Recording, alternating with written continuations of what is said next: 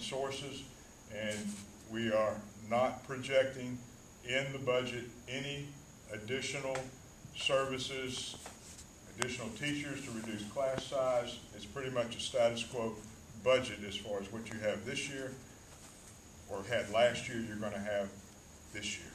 I don't think, I don't see any new hires going. But I wanted, as we talk about this, I don't know, pretty small, isn't it? What, it says is the current proposed, current proposed budget is gonna show us with a five point seven million dollar surplus in this year. If we follow the budget as it was voted on to the letter, that means our fund balance will increase to about sixteen million dollars at the end of the year.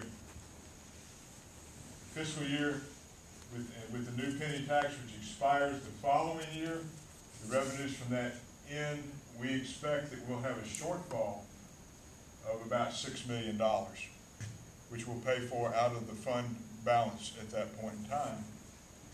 And then the following year, and I'm saying this, I want to say it very carefully, this is based on what's real today, no change in the tax structure. The penny tax goes away. It is retired in May of 2013. We're looking at a shortfall that would take us uh, into deficit about $18 million, which of course we can't do by, by law.